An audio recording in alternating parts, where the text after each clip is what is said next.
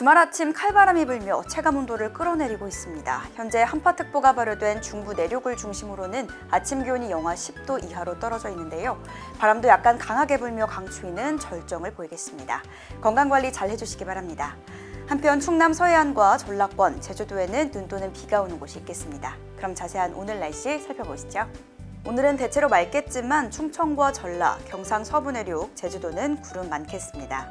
한편 계속해서 이어지던 강추위는 오늘 절정을 보일 것으로 예상되는데요. 한파특보가 발효된 중부 내륙을 중심으로 아침 기온이 영하 10도 이하로 낮겠고 낮 동안에도 바람이 다소 강하게 불며 체감 온도가 영하권에 머물겠습니다. 추위로 인한 건강 관리에 각별히 유의하시기 바랍니다.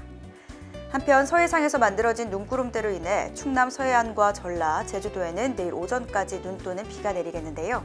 제주 산지에는 최대 10cm의 많은 눈이 내려 쌓이겠고 전라 서부와 제주도에는 1에서 5cm의 눈이 내리겠습니다. 또 그 밖의 지역에서는 최대 3cm의 눈이 내리겠는데요.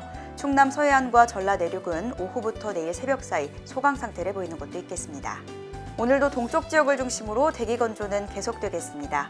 한낮에는 습도가 15에서 25%까지 떨어지며 매우 건조하겠으니까요. 각종 화재 예방에 주의해 주시고 내일까지 해안과 산지, 제주를 중심으로 바람도 초속 10m 내외로 강하게 불겠으니 시설물 관리에 주의해 주시기 바랍니다.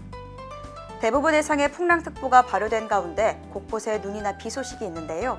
물결도 최고 4m로 매우 높게 일겠으니 항해나 조업하는 선박은 안전사고에 주의해 주시기 바랍니다. 충남 서해안과 전라 곳곳에 내리는 눈은 내일 오전까지 이어지는 곳이 있겠고 이후에는 뚜렷한 비나 눈 소식은 없겠습니다. 최근 눈이 내린 지역에서는 당분간 기온이 낮아 이면도로, 골목길, 인도를 중심으로 쌓인 눈이 얼어 미끄러운 곳이 많겠습니다. 교통안전에 유의하시기 바랍니다. 지금까지 웨더뉴스 오늘의 날씨였습니다.